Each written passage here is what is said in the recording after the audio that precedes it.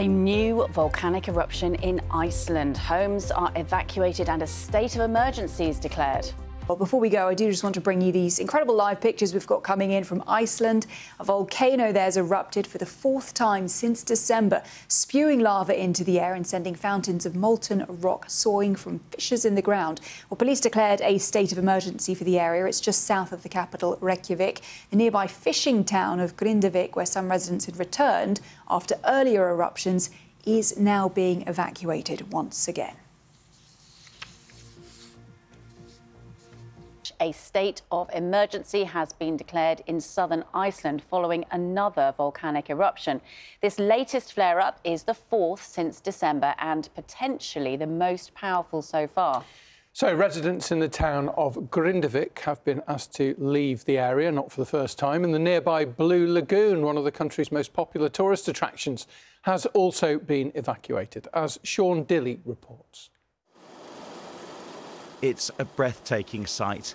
This is what two miles of lava looks like, spewing from the ground, eruptions transforming the night sky at the Reykjanes Peninsula. A state of emergency has been declared in southern Iceland after the peninsula's fourth eruption in recent months. We're evacuating. All right. The lava's coming.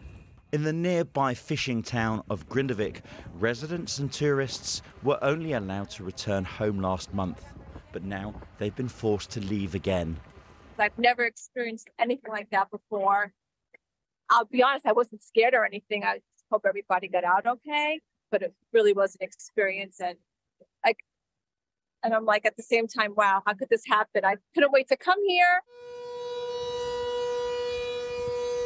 One of the country's most popular tourist attractions, the nearby Blue Lagoon, has been evacuated too.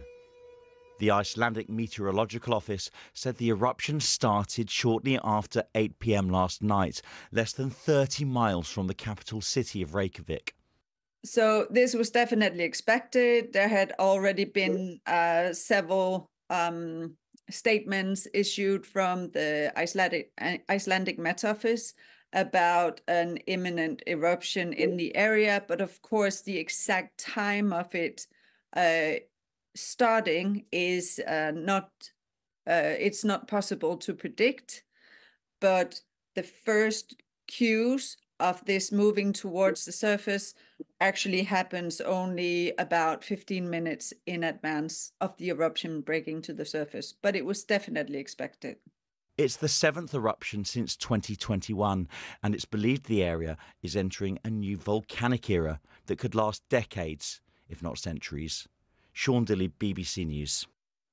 So this is the uh, shot live from Iceland this morning. As you can see, the sun just about coming up uh, there in the North Atlantic. You can see the uh, where the, where the uh, eruption is taking place. The lava flows uh, uh, heading down towards the town of Grindavik. About 100 of the 4,000 residents who were evacuated from there before had chosen to go, to go back. there have been some defensive walls built around Grindavik and also around a power plant nearby. Um, those should, the scientists think, redirect the lava flow if it gets that far. There's some talk as well that some of the lava might flow into the sea, but dramatic pictures from Iceland this morning of that latest uh, volcanic eruption. Now then, we've been showing the uh, pictures all morning, haven't we? A state of emergency has been declared in southern Iceland. This is following another volcanic eruption. This is the fourth since December. Yeah, have a look at the pictures. These were filmed overnight. Absolutely spectacular. The aerial footage showing clouds of smoke and glowing magma oozing and bubbling from vents in the earth. It's the seventh eruption since 2021, and scientists believe that the area is entering a new volcanic era which could last for decades. It's a, it's a fissure explosion, isn't it? Uh, eruption. Um, as you, oh, that's the live shot now this morning.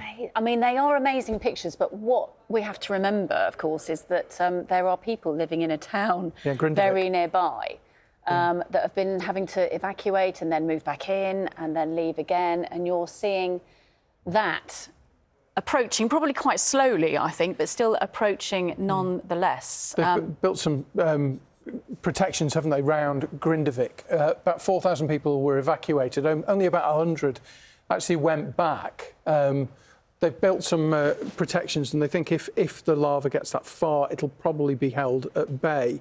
Similarly, around a power station, which is nearby, and some of it's expected perhaps to flow into the sea. Yeah, so updates uh, throughout the day on the BBC News channel and also the BBC website uh, to keep up with the latest.